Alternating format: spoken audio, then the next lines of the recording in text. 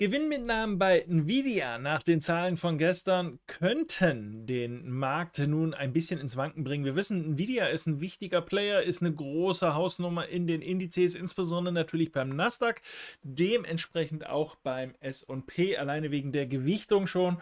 Und äh, das dürfte einen deutlichen Einfluss haben. Zumal natürlich aktuell, dass die einzigen Zahlen sind, die anderen großen Player dort in dieser Liste, Apple und Co. Apple war relativ äh, und, und äh, Alphabet und sowas haben ja schon relativ früh ihre Zahlen bekannt gegeben im Earnings-Zyklus und Nvidia da so ein bisschen ein Nachzügler. Und äh, das äh, deutet äh, darauf hin, äh, also nicht, dass da Nachzügler sind, aber die Zahlen und äh, die, das Verhalten der Marktteilnehmer deutet darauf hin, ja, jetzt ist auch gut, jetzt kommt da nichts mehr. Jetzt nehmen wir mal Gewinne mit und freuen uns auf das, was wir ja schon hatten. Denn das ist ja durchaus beeindruckend, was wir seit Ende Oktober haben. Jetzt haben wir Black Friday am Freitag und äh, dementsprechend die hoffnungsvolle Erwartung, jawohl, die Jahresendrallye, jetzt geht's richtig los. Naja, das Problem ist, wir hatten sie ja schon, zumindest mal einen Teil dessen. Es ist ja noch nicht gesagt, dass das schon alles ist, aber dass wir jetzt aus der Hüfte geschossen in einem weiter fortlaufen, ja, da muss man sich halt überlegen, schaffen das die Marktteilnehmer, ja oder nein? Wir haben ein äh, neues Jahreshoch gesehen. Ihr seht, also nicht jetzt heute alleine, aber wir sind darüber hinausgelaufen. Und äh, das ist eigentlich ein ganz interessantes, ein gutes Zeichen, denn das ist eine Stelle, an der der Markt gerne schon mal dreht. Wir hatten ähm, vor ein paar Tagen schon mal eine Trading-Idee, mit der wir allerdings nicht starten konnten. Also gestartet waren wir, allerdings auch wieder ausgestoppt, so traurig das klingt, aber so kann es eben passieren. Das war hier im Prinzip dieser Wendeanzeiger an der Unterstützung. Jetzt haben wir vielleicht die Chance, eine erneute Situation hier zu bekommen. Vorsichtig, wir sind noch mitten am Tag. Amerika hat doch gerade erst begonnen. Wenn allerdings nach Schluss oder, oder heute Abend äh, zum Tageswechsel diese Kerze abgelöst wird durch die nächste, dann haben wir eine realistische Chance, dass wenn es wieder so aussieht wie diese hier, die muss nicht rot sein, die kann auch grün sein, kann aber auch rot werden, wenn der Kurs noch ein bisschen fällt, dass wir wie hier also oder so ähnlich aussehend wie hier, dann eine Wende bekommen, die dann tatsächlich erstmal in die Abwärtsseite geht. Also die Idee 2.0, nämlich das gleiche nochmal, die steht tatsächlich im Raum mit einer Chance, dass der Kurs hier nach unten geht. Das ist nicht immer so, dass das klappt, aber jetzt haben wir schon einen negativen Versuch hier hinter uns. Statistisch gesehen erhöht sich damit die Chance für die zweite äh, Chance jetzt mit dem Ausbruch nach oben. Ich erzähle euch ja immer wieder, False Breakouts sind so typisch. Viele kaufen genau dann, ja, klasse, jetzt hat er das gerissen, jetzt kaufe ich.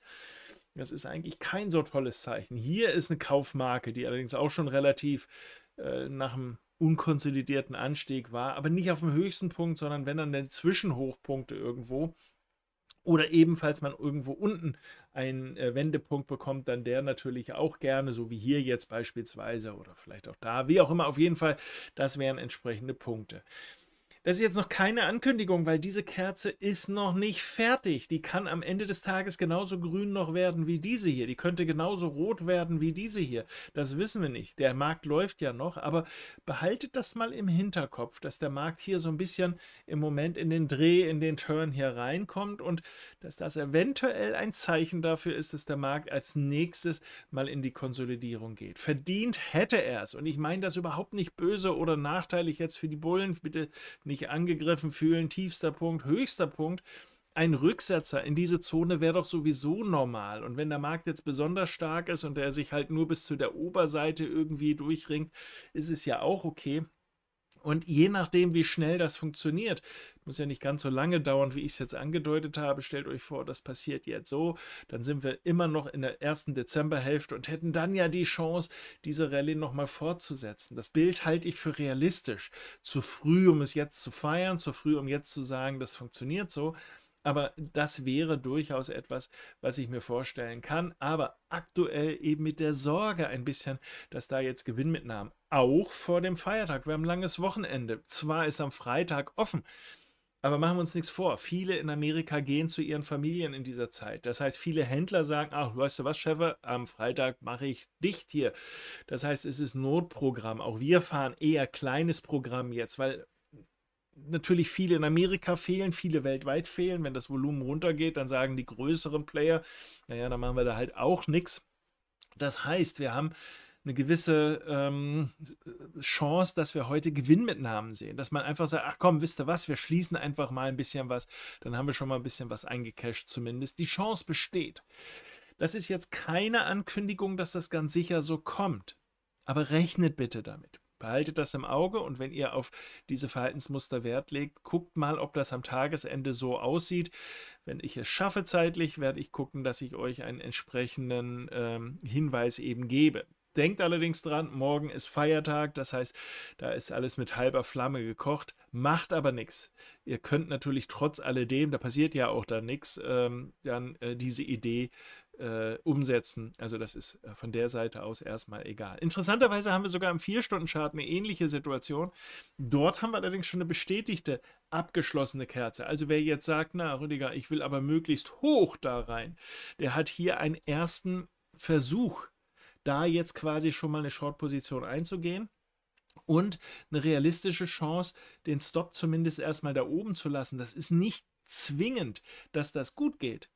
Aber ihr dürft eins nicht vergessen, bei dieser Idee, die nicht so schlecht ist, sehr häufig nutzt der Markt das, wenn solche Verhaltensformen äh, sind, ähm, dass er dann auch ein gutes Stück erstmal nach unten geht. Das ist im Prinzip unsere Risikoweite, die wir da haben. Ja, das ist das, was ihr riskiert. Aber was ist die Zielerwartung? Wenn es wirklich geht bis 15.400 in etwa, dann wäre das im Verhältnis 15.400 bis darunter. Das heißt, wir riskieren verhältnismäßig wenig für die Chance, dass wir relativ viel auf der Abwärtsseite eben noch Luft haben. Also, daraus lässt sich mit Sicherheit ein Trade machen. Ihr seht, im 4-Stunden-Chart haben wir so einen Hinweis, dass das passieren kann. Wir hatten hier ebenfalls so, so, schon so eine Situation. Da seht ihr, das geht nicht immer gut. Allerdings, wenn der Kurs ein gutes Stück schon entfernt ist, dann zieht man in der Regel den Stop schon mal ein, ein bisschen wenigstens hinterher. Und wenn der Kurs dann weiterfällt, super. Und wenn er dann dreht, naja, gut, dann dabei sein ist alles, hat nichts gebracht, hat nichts gekostet. Was soll's? Also insofern eine realistische Chance im Tageschart, aber eben auch im 4-Stunden-Chart da eben aktiv zu werden. In Anbetracht dessen, dass eben das Volumen relativ gering ist, beziehungsweise die Märkte zu sind und man natürlich so ein bisschen die Sorge hat, wie geht es denn nach dem langen Wochenende dann weiter oder beziehungsweise zwischendrin dann mal, muss man da mit irgendwelchen Sprüngen rechnen. Ihr müsst ja nicht gleich riesiges Risiko hier eingehen, wenn das gut geht. Dann habt ihr sowieso relativ viel auf der Gewinnseite. Also ihr müsst jetzt hier nicht all in. Das empfehle ich natürlich sowieso nicht. Ich hoffe, ihr hört die Ironie hier in der Geschichte. Bitte geht nicht davon aus, Mensch, das sieht super aus. Das kann gar nicht schief gehen, da gehe ich jetzt volles Risiko mit rein. Nein, macht bitte, bitte sowas nie, egal wie toll sowas aussieht. Ist keine Garantie. Aber wenn wir schon mal so eine Umkehrkerze haben, die alleine reicht mir nicht aus. Wir haben schon mal häufiger eine Umkehrkerze. Aber an einer Stelle, wo ich einen Dreh sowieso eigentlich mehr als erwarten würde und das auch nach so einem Verlauf sehr typisch ist, denke ich mal, ist das eine Überlegung, die man durchaus äh, feiern kann oder wo man da mitmachen kann. So, das ist Nasdaq gewesen. Wir können natürlich gucken, was macht der S&P.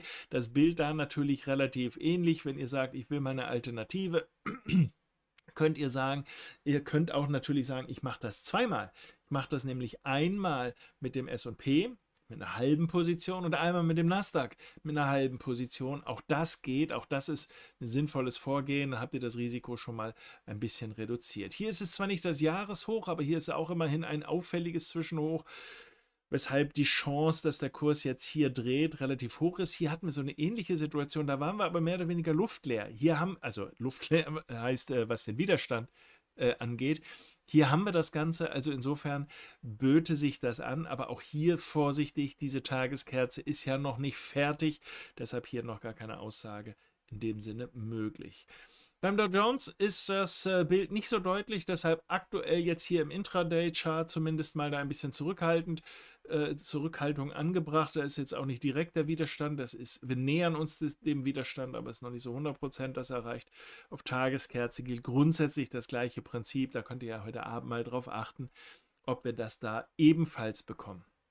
In allen Fällen ist die realistische Chance, dass der Kurs ähm, irgendwo hier in die Mitte reingeht. Also, dass wir, äh, wenn diese Korrektur jetzt nun wirklich losgeht, idealerweise vom tiefsten Punkt und nicht vom zweitiefsten Punkt, also vom tiefsten Punkt hier bis zum höchsten Punkt gemessen, aktuell ist es das, dass der Kurs hier jetzt irgendwo da reingeht für 34.200 wäre jetzt so mal die Oberseite. Da haben wir dann vielleicht auch noch ein bisschen Unterstützung hier von der Geschichte.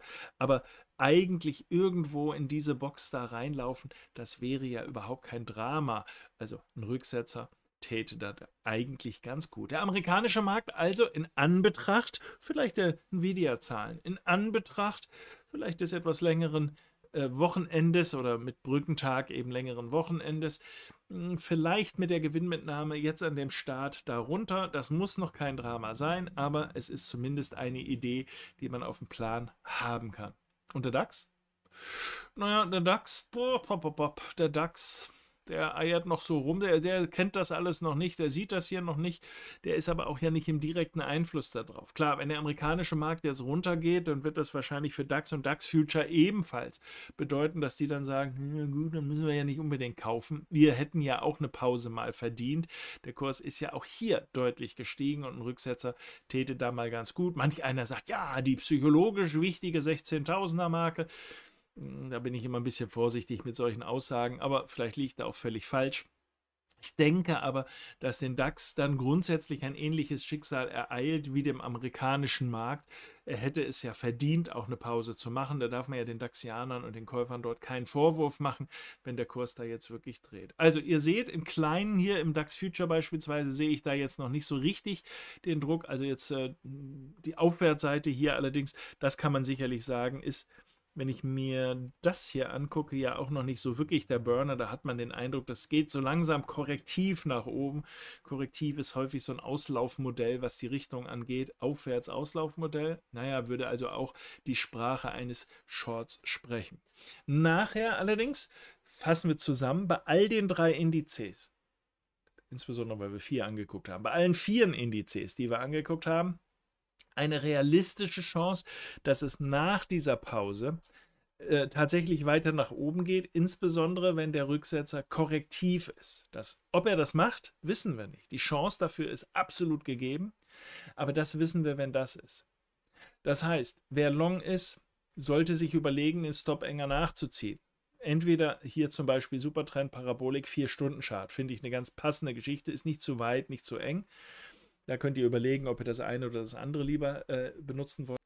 Oder aber ein aktives Short-Signal, was sich hier dann eben ergibt, wie ich es eben vorhin formuliert habe, dann zu nutzen und zu sagen, entweder gehe ich sogar Short oder mh, hm, vielleicht gehe ich nicht Short, aber ich gehe zumindest mal raus aus meiner Long-Position. Klingt nachvollziehbar zumindest mal. Ob das im Einzelfall optimal ist, weiß ich auch nicht. Aber es klingt zumindest nachvollziehbar und deshalb eine Überlegung, die ihr nicht ganz von euch weisen solltet. So, in diesem Sinne, euch jetzt erstmal alles Gute. Denkt dran, morgen ist Feiertag in Amerika. Von meiner Seite wird es morgen kein Update geben. Also insofern, äh, morgen ist äh, ein bisschen Organisations- und Techniktag. Also kein Update-Video dieser Art. Das macht auch wenig Sinn. Der DAX wird alleine sicherlich auch eher rumdümpeln. Also von mir gibt es äh, diese Videos dann erst wieder am Freitag ist das zu erwarten, dass ihr da von mir was hört. Aber ihr habt, glaube ich, jetzt eine Idee schon, wie man damit umgehen sollte. In diesem Sinn, euch alles Gute und ganz liebe Grüße. Bis dann.